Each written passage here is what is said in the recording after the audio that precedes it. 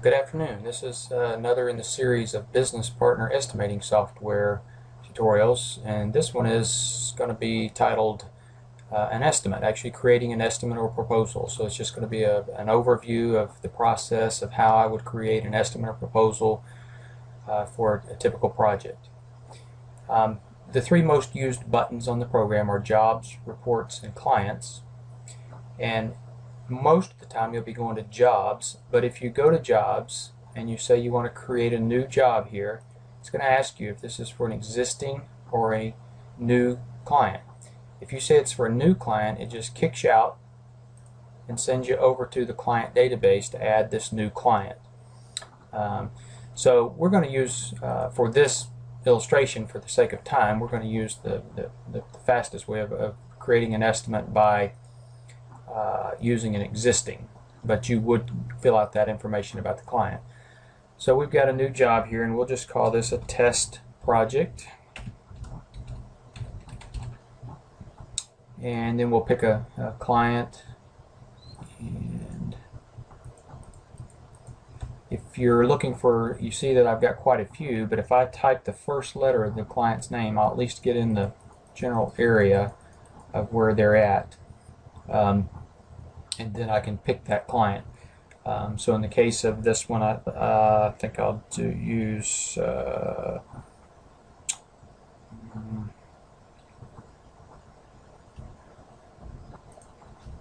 Dan Willis's account.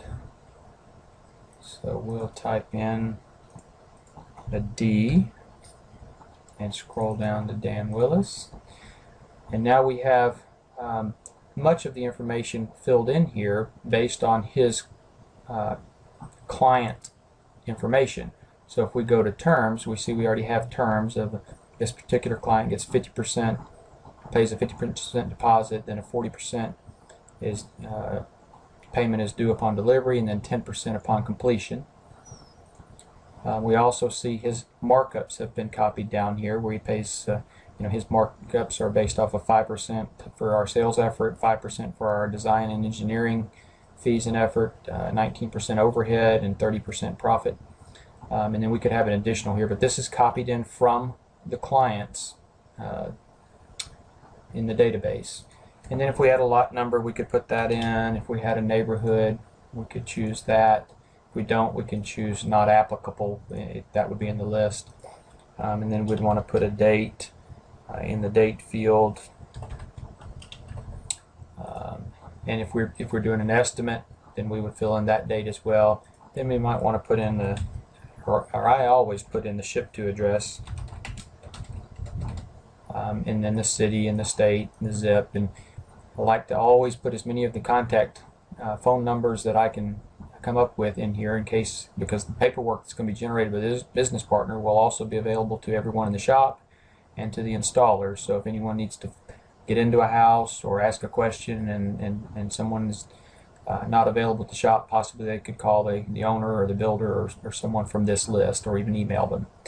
Then I also always do a Google uh, map, find directions and then get the mileage. So let's put in some, some mileage there.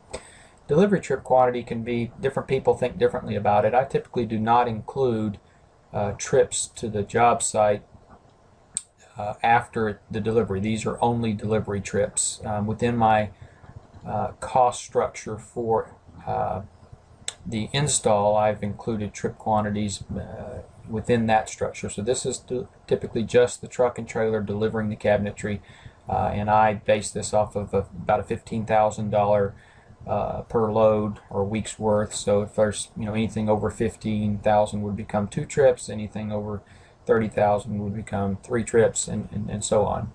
Um, but you can use that as you see fit. Um, so that's the first step is that we want to get this uh, job information entered. Um, in this case, you know, we're, we're doing an estimate and we have an estimate date and we have the terms and we confirm that the terms are correct. So now we're ready to go to the rooms area. And here we can either add all of the rooms and then go in and add the details for the rooms or we can just add one room at a time as we go. Uh, we're only going to do one room for this illustration, so we'll just do that. Click Add a Room, give that room a name, and that can be whatever you want it to be. Um, if I have a kitchen, um, that has an island of a different finish, then I would use the elevation. Here I would say kitchen, and then I would add another room, and, and here I would say kitchen, and in the elevation I would say island.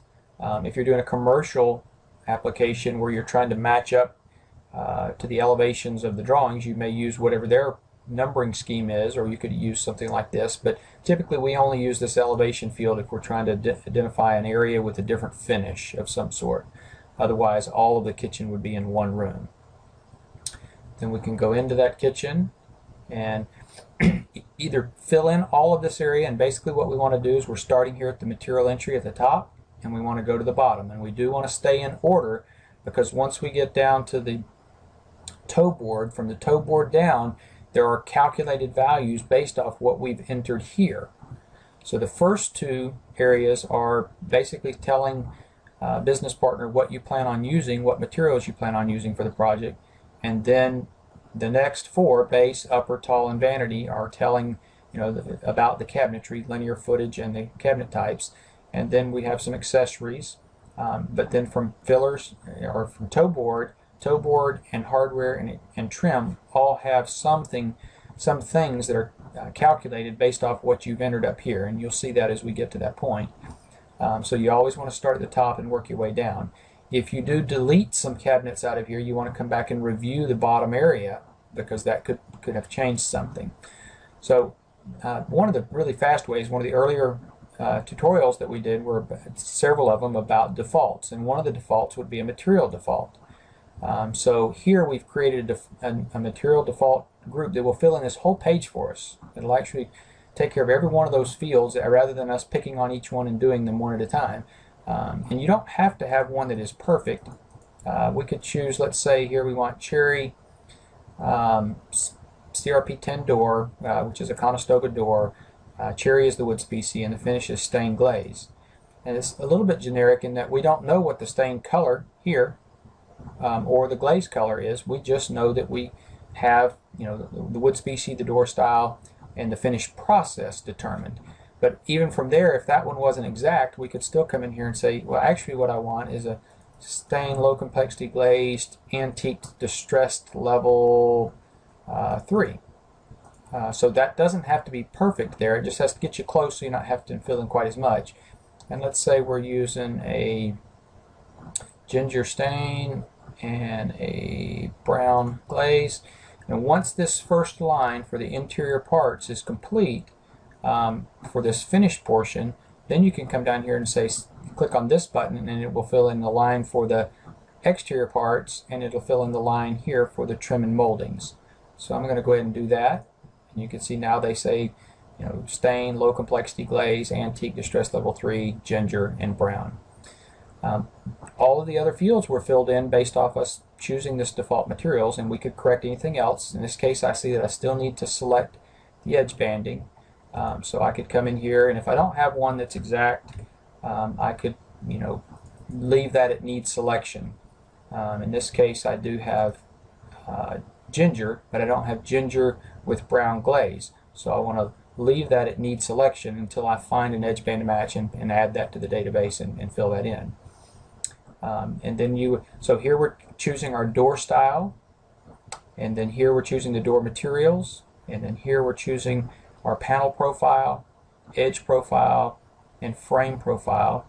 This column right here is uh, basically the source of where these doors are coming from. What is the source? Are you going to outsource them, or are you going to make them in-house? So in this case, we're saying we're going to buy all of these doors in applied ends, but we're going to make the fillers, toe board, and face frame stock, if there is any face frame stock. Over here, this source column is based on, is determining the finish source. So where is the finish going to be done? In this case, we're going to do all the finishing in-house, but we could also choose outsource. Um, they basically, the structure of business partner allows them to calculate the cost identically if you want it to um, for any one single door or finish with the exception of how the tax is treated. And that's a long subject, so we won't go over that now, but it will treat the uh, a door purchased out as all material, which would mean all of it is taxed in a state where you tax material only. And if you were chose in-house here, then it would only tax the material cost for that door, not the labor to make that door. Um, but then it's very flexible in how that works and, and works with many, many states, uh, different setups. The next thing we would do after we fill this, and of course here's the drawer box uh, selections. In this case we've chosen Zargen drawer system with a three-quarter maple melamine uh, bottom, and this is Zargen rollout tray, and then we have our crown mold, our light rail, and any of these that don't get used, I wouldn't leave them blank. I, I try not to leave any fields on this page blank. Even if I don't have any appliance panels, I still fill in what the appliance panel would be if they did choose one, because if you leave this blank, and then later come down here to the appliance panel page and add an appliance panel, it will be a zero cost because it doesn't have any material to make it from. So it's important that this page has no blank fields, that they're all filled in, even if you don't have any of that item. What would it be if you did have some of those items? And then on the detail page, it'll say there's zero of those items. So then we'd want to do the same thing for our hardware, and we can choose to select default materials or do them one at a time. Uh, since we know this is a Zargen job, I'm going to choose my Zargen uh, knob with a $5 budget. Um, and that provides a $5 budget for the knob and the $5 for the door and the $5 budget for the drawer front surface hardware. Um, but it, if you have specific hardwares, you can fill those in at this point. Typically, when I'm doing estimates, I don't know what the surface hardware will be yet. Then in the base cabinet. This field here, uh, the unfinished interior, uh, is not necessarily meaning that it's raw. It just means you don't have to apply finishes to the product. It is either a melamine or pre-finished product, or you're going to deliver it raw to the project. Something that you don't need the finished cost applied to it. Um, and then the finished interior would be any linear footage of cabinets in this room, and this is a single number for all of the linear cabinetry in this room. So let's say we have 10 feet of base cabinet that is unfinished, and we'll say we just have, for the sake of time, I'm just going to say drawer repair, add those cabinets, and based off of our past experience, we have a suggested box quantity here. Now, we would never have a kitchen probably that had just five drawer repairs but for again, for the sake of time, that's what I'm going to do. And we always default to the quantity once you add cabinets. So it's defaulted to quantity. All I got to do is type 5, confirm my depth, height, toe kick height, number of fixed shelves, and number of adjustable shelves, and then move on. Um, we don't recommend filling in the cabinet widths as individual cabinets because that precludes you most of the time from being able to put in a quantity here and the parts are so close when you don't actually put in individual cabinet widths. And it just divides the 10 by the number of boxes. So all the cabinets are 24 inches wide, where in re reality some of them are probably 3 foot and some of them are 18 inches or 12 inches. Um, but it really is uh, insignificant, of the difference. Um, so we see here that we've got five cabinets that are drawer repair doors, and it calculated those widths at 24 inches each because we have 10 feet and there's five of them. Then we would go to our upper cabinets, and let's say we have uh, 8 feet of uppers that are just pair doors. Again, I'm just doing this for the sake of time. And let's say there's uh, it's saying a suggested quantity 4, so we'll use that, assume that's right.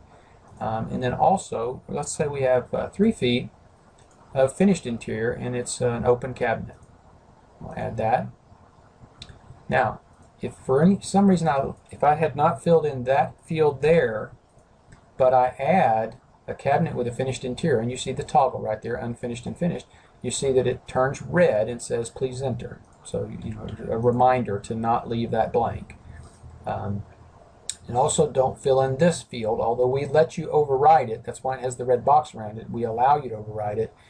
It is calculating this height based on you said that these cabinets are 95 inches from the floor to the top of the cabinet and 54 inches from the bottom uh, of the, to the bottom of the upper from the floor. So that's 41 inches. Again, it would be wrong to override that. You would want to change one of these two to make it right. All right, and then, uh, so, so the steps here are all listed right at the top for each of these four pages. To add the linear footage for the room of cabinets, select an upper cabinet type from this. There's number two is to select an upper cabinet type. There's number two. Select that from that list.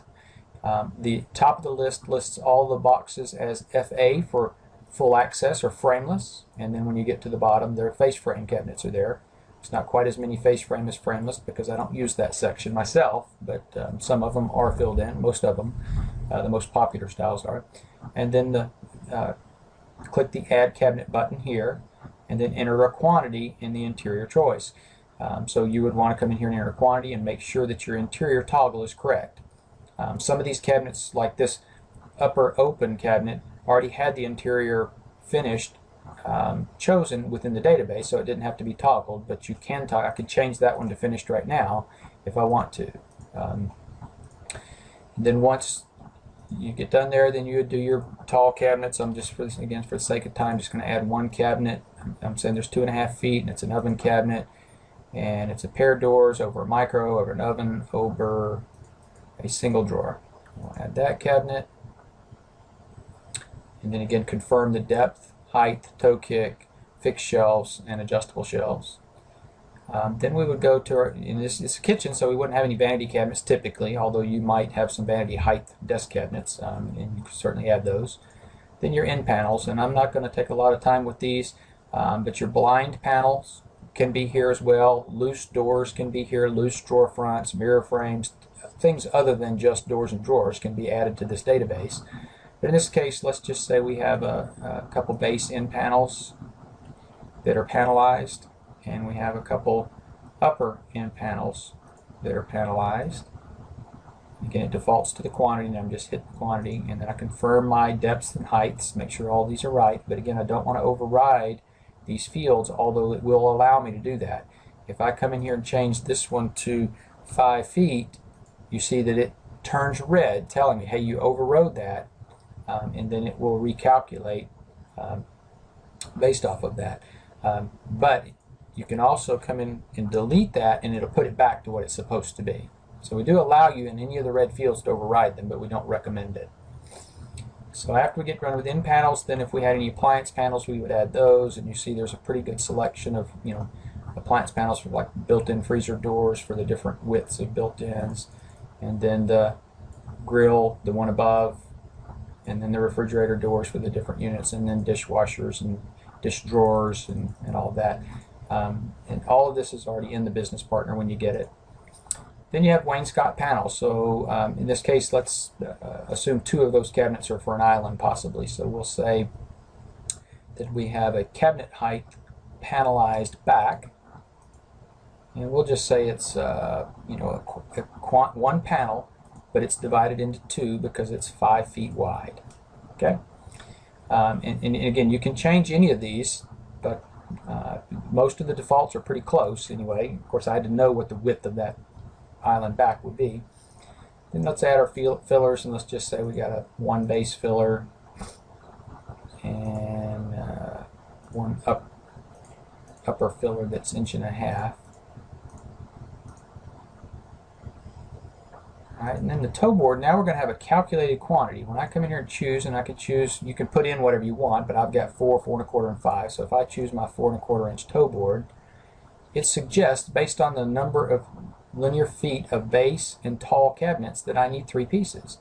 Um, typically, I add one um, to any any of those, whatever this says, I typically add one, and if it's you know 10 or 12, I might even add two or three. I always want to have more toe kick than I need. I never want to run out. Um, and then face frames, you see there's all zeros here because none of these cabinets we added had a face frame. If they had had a face frame, we would actually have a square footage of frames there as well. Then your labor rates, typically you don't change these from job to job, but this does give you the ability here on the installation, if someone were going to pick their cabinets up, to just zero out the installation labor, uh, and then make sure you zero out the installation labor on hardware, accessories, and trim, and you'll have a job cost without installation. If you need those numbers back, you just click on the defaults and put them back. If you've got uppers that are stacked, or you've got uppers, uh, if you've got uppers that are stacked, you'd probably want to leave this alone. But if you've got a, a, a, tall upper that has a fixed shelf door over door, you got a little extra labor there. You could modify this upper cabinet labor right here on the fly for this job only, uh, and that would be really handy. Uh, but again, typically I don't change anything here unless I'm selling to a showroom that's going to do their own install, and then I would zero out the install.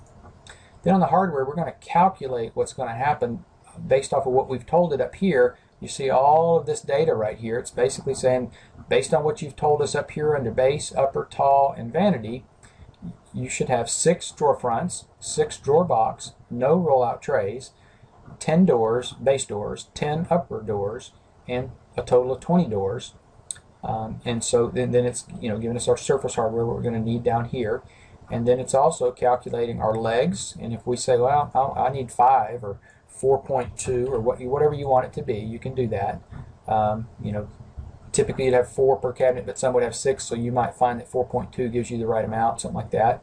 Um, and then if you don't use suspension blocks, um, you wouldn't have answered that question here on the hardware entry page. You'd have left these blank, and so then it wouldn't have added anything. Um, but once we typically you just scan this real quick. There's only a couple fields you can actually enter anything, uh, but then you can just choose the Add button, and it actually puts all of your um, hardware for the job in for you. Now, there's still some things you may need to you know check. Um, you know, we've got a five dollar budget for knobs um, for doors and a five dollar budget for drawers, um, and we have six of those and 20 of those. Um, but we may know that hey, a couple of these drawers get two. They're wide drawers and they're going to get two. So instead of six, we may say, hey, we got eight uh, of those, or nine or ten, whatever. Um, same thing may hold true for hinges. You may have some tall doors that need three hinges. We've calculated based off of two hinges per door, but if you know you've got two doors that have three hinges, you know you need to change that to 42. Also, we're, we don't know about some of the accessory type items, so uh, you could also do this whole process manually by coming here and choosing a category. In this case, I chose functional hardware. Um, what I don't know, just from what you answered up here, is that you might have a couple file drawers. Uh, so then we know we have Zargen drawers, so we can uh, scroll down to Grass Zargen drawers and say, hey, look, I got some file drawers here. So uh, two of those drawers are files, so I just added that. Whatever's on this side of the screen with a green button in front of it is available to be added to the job whatever's on this half of the screen has been added to the job using the add button or using the green button over here. The gold button takes you to the details of that item. If you're not sure this is what you want or you've not seen enough of it to make be clear about it, this actually takes you to the details of this item, shows you everything about it, cost, everything about all the markups, everything about this item, um, and also allows you to let it show or not show on the reports by that toggle button. Once you've looked at this and know everything's like you want, then just go back to the room, clicking on the room button, and you're back to where you are. So these gold buttons allow you to look at the details of the items that have been added to the job. These gold buttons in this column allow you to look at the details about something you may want to add, but you're not certain, you, you need a little more information, you click on that gold button. This red button lets you delete an item that's been added. Uh, and that's true in every area, and there's always instructions down at the bottom of every screen telling you what those buttons are. Right, and the next section would be accessories. And I always recommend to everyone to, there's four categories, and within each of these categories, there's at least one classification, but some have multiple classifications. I recommend scanning every one of these lists, you know, and making sure there's none of these things you need. So we'll just say we have uh, some a couple angled walls on this job. Now, this item right here, angled wall, labor per angle, when we go look at the details for it, because it is just a labor item, a labor upcharge, I've got it set visible on reports, no. So it won't show on our report, but it will add this $81.20 um, for a little extra material and a little extra time taken to deal with that angle in the field. Um, and you see that most of the cost is here at installation. A little bit of it is material. In my case, that, that's the cost for a transition mold, and this is the cost to cut that transmission mold to, to length and and install it to the cabinetries for that angle. Um, so let's also, we know we had one uh, uh, cabinet that had an open interior. Um, if we had chosen that door being a pair finished interior, we might have wanted, needed to charge an upcharge for glass doors, one light, two light, four light, whatever here, or even for the glass. Um, you know, we've got uh, you know, glass listed, we've got you know, clear glass, seeded glass, you can have as many as you want. In this area, because we have a material cost, an installation labor, and a shop labor, it really could be anything you want. And you can also, from hardware down, you can also, once you add an item, change the name of it. Never change the name of a cabinet in the base, upper, tall, vanity, or anything about appliances or, or panels, end panels, appliance panels, wainscot panels. um, or toe kick. But from hardware, accessories, and trim, you can add an item and then you could actually type over this name and it won't hurt anything to do that and then change the price of any of these items. Um, you know, a lot of times when I've done what we did on this last page of this $5 budget, once they actually decide it, if, if it's not a real popular piece of hardware that I already have in here and I don't think I'll ever have anyone else pick it, I'm not going to add it to the database. I'm just going to type over this description and put the appropriate price here and here, and then I'm done. Um, because I probably won't ever use it again. Uh, but same thing with accessories. And you, so once you've scanned this list and scrolled to the bottom, and you know you don't have any of these items, then the next thing to do would be go to the next category. Um, if you don't have any countertops, then you can skip those two categories, or if you're not supplying the tops. But if you are, you would go to those two categories and look at everything in them. In this case, we'll just assume we don't have tops. So now we have a category of functional accessories, but you see we have multiple um, classifications. We want to look at each one of them possibly. Now, if this is not a closet, maybe you don't need to look at the closet. Probably wouldn't be a good bad idea to look at doors and accessories, drawer accessories. Um, if you know you don't have a hood, then you obviously don't have a hood liner blower. Um, if you know you don't have any corners, then you wouldn't have any Lazy Susans. But it doesn't hurt to scan each one that might have something in it that you may need. So I look at this and say, well, no, nothing there. But when I get to the drawer accessory, maybe I do see something I need. Maybe they want a, a cutlery drawer and a utility drawer. Again, clicked it on the green button in front of the item to add it to the list. And then if I want to, I can change the quantity if I need to. Um, so those two items have been added. And then we have our trim items. On the trim items, we can do an auto add here, we'll get our crown and light rail based on suggested quantities, again, based on what we've said in, the, in about applied ends and upper cabinets and tall cabinets. It's suggesting that we need, and we have 15.63 and it's saying with 16 feet, you might say, eh, I better put in 24 feet. And you also see here that it changed the suggested quantity of pieces when I said 24 feet to 3 based on what we told the linear footage was for that particular item. From here we would also add any additional moldings that we need, um, some of them being trim, some of them being molding. So here we've got clips, corbels, decorative hoods, feet, legs, just a variety of different items um, that could be added. Uh, and then our functional trim, appliance garages, mantles, plate racks, anything you want to create in here you could add to this. And then your moldings themselves, apron molds, base molds, decorative moldings, panel moldings. Uh, but once those items are added, you have a, a complete estimate completed. With all of these areas covered, from material entry down to trim items, you're ready to do uh, an updated cost, and you can do this throughout the process if you need to check it.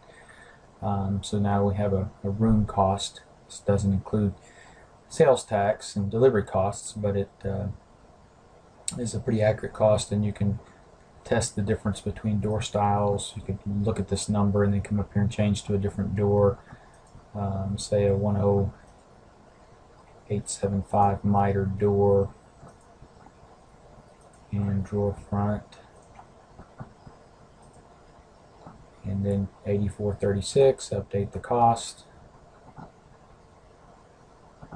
And that became now 9008. So you can do some what if scenarios uh, here on this page. Again, you're not seeing the delivery cost, but that wouldn't change from different scenarios here. Um, so you might find that helpful to be able to do that.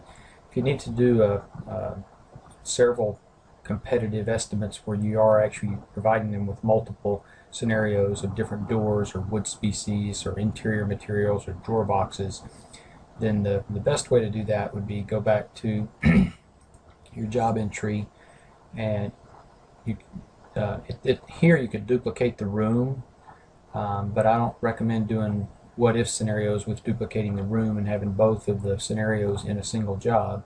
I would go back to list all the rooms, and then um, our job name was test, and you can sort through all your job. This shows all the jobs you have in there, but then these are all the A's, jobs that start with A, and our, our started with a T, and there's our test project. So over to the right of that project, we could click on the duplicate button. And it's basically going to tell you what it's going to do and continue. Choose the rooms that we want to duplicate. In this case, we only have one.